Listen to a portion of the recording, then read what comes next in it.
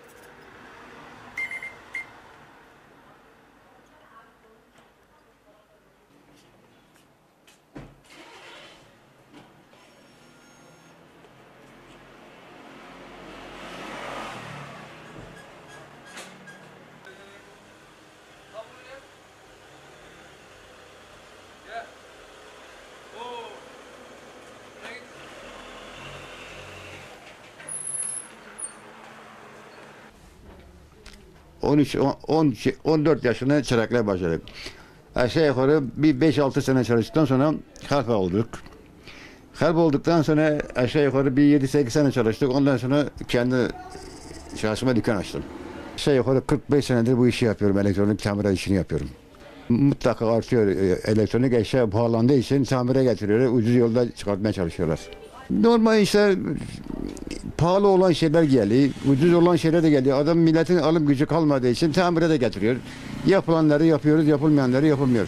Mesela uydu tamiri yapıyoruz. Efendim ufak ev aletleri yapıyoruz.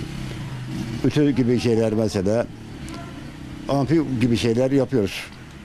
Çok var. Eskide televizyon vardı. Eski kasetli tepler vardı.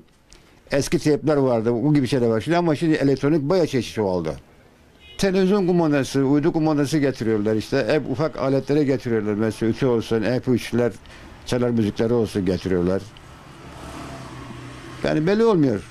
Ufak elektronik eşyalar falan getiriyorlar. Yaşıyoruz tabii. Eleman yetiştirme artık bitti. Artık bir ufak çocuğa bile söz geçiremiyoruz. Şimdi kafam daha rahat. Mecburiyetten yapıyoruz. Yani artık yaşlandım artık ben de yapamıyorum da artık mecburiyetten işte zaman gelsin yapıyoruz. Evet. Artık bundan sonra zor ilişkiler yani. İşte tamir ediyorlar. Al saat yenisi e, bozulduğu zaman kaldır at yenisini al. Hasap oldu artık. Yavaş yavaş biter. Yani 5-10 sene sonra biter. Eleman yetişmiyor. Eleman gelip de çalışmıyor. Yani ufak çocuğa bile sözünü geçiremiyorsun artık.